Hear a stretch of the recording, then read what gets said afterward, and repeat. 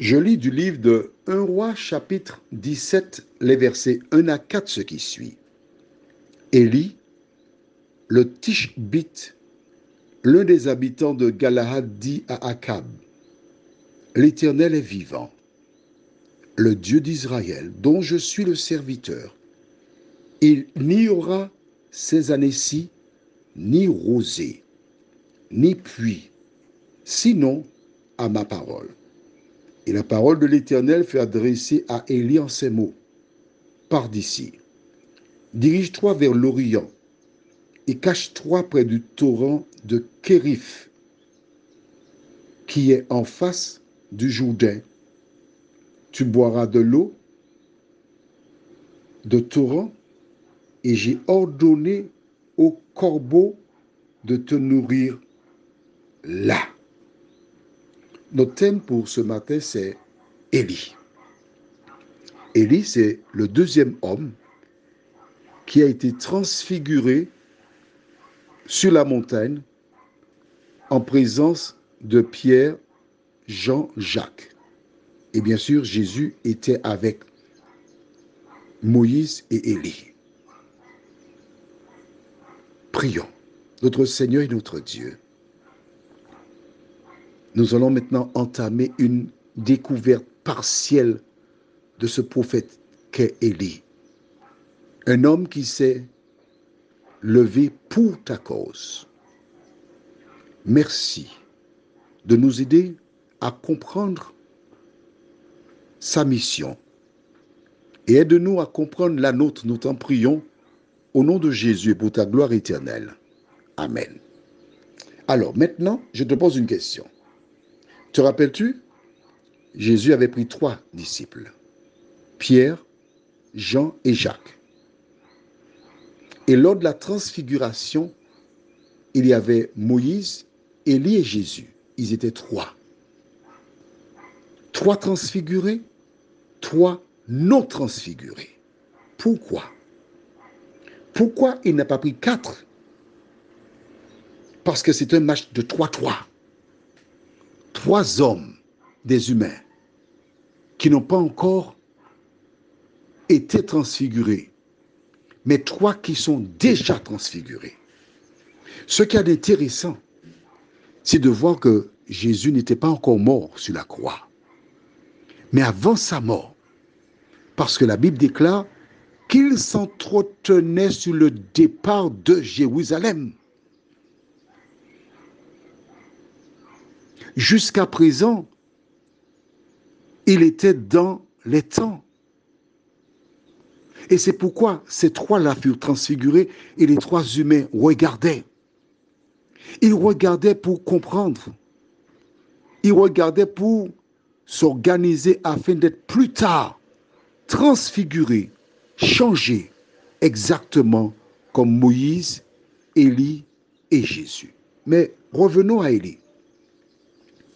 Nous savons à partir de ce que nous venons de lire dans 1 roi 17 que c'était un prophète de l'Éternel. Il dit même, je suis le serviteur de l'Éternel. Et sa mission consistait à diffuser un message qu'il avait reçu de la part de l'Éternel.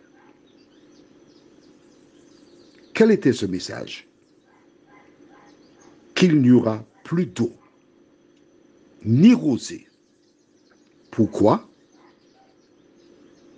Pourquoi l'a-t-il dit au roi Akab? Eh bien, il nous suffit de lire le chapitre 16, verset 30. Akab, fils d'Omri, fit ce qui est mal aux yeux de l'Éternel, plus que tous ceux qui avaient été avant lui. Et comme si c'eût été pour lui peu de choses de se livrer au péché de Jéroboam, fils de Nébaph, il prit pour femme Jézabel, fille d'Et Bahal, roi des Sidoniens, et il alla servir Baal et se prosterner devant lui. Il éleva un autel à Baal dans la maison de Baal qu'il bâtit à Samarie. Et il fit une idole d'Astarté. Akab fit plus encore que tous les rois d'Israël qui avaient été avant lui pour irriter l'Éternel, le Dieu d'Israël. Voilà. Tu te rends compte? Voici Samuel, puis David, des hommes qui enseignaient au peuple la crainte de l'Éternel.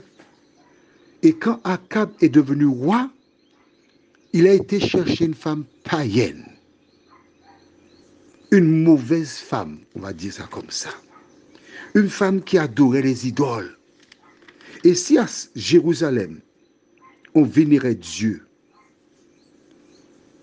il y avait le temple que Salomon avait érigé, dédicacé à l'Éternel, il a fait à Samarie, une autre ville juive, un temple Baal et y a placé une idole de Baal sur le territoire que Dieu a donné à Abraham et à ses descendants. À cause de cela, l'Éternel est entré en jugement avec Israël. Que retenons-nous Lorsque nous nous éloignons de l'Éternel, nous supportons les conséquences.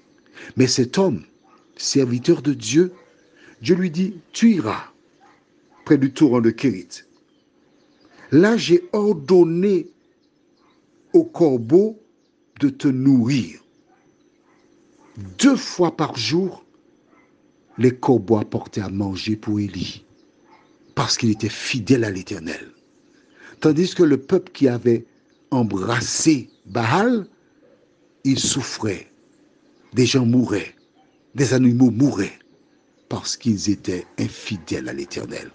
Alors, et toi, où en es-tu? Fais-tu partie de celles et ceux qui adorent les Baal Astarté ou le Dieu véritable? Prions. Notre Dieu, notre Père. Alors que le peuple s'était tourné vers les idoles, Baal, Astarté, tu appela Élie pour délivrer un message de ta part. Il était seul. Il a été parce qu'il savait que tu étais avec lui. Nous voyons le résultat, Seigneur. Ô notre Dieu, notre Père, nous te demandons de nous aider à être des Élis dans notre foyer, dans notre quartier, dans notre parti politique, quel que soit le lieu où nous sommes, aide-nous à nous lever pour la vérité. Nous t'en prions. Au nom de Jésus, pour ta gloire éternelle. Amen. Je te souhaite une bonne journée sous le regard de Dieu.